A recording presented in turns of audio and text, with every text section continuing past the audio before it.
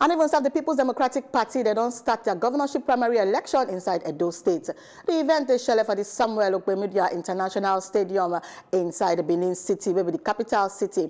And among those where they ground the governor of Bauchi State, Bala Mohammed, plus other federal and state escorts for the party.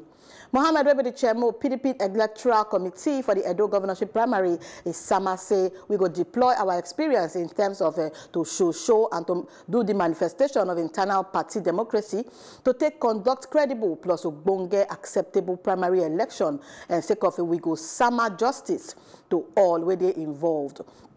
And we go still make sure say transparency they caveat for the process. Total of 2,229 delegates uh, and they expected to decide who go boss out as the party candidate uh, ahead of the state governorship election where they scheduled for September 19. And apart from Governor Godwin Obaseki, the other aspirants now Gideon Ikhine, Ogbeide Ihama and uh, Kenneth Omasragbo.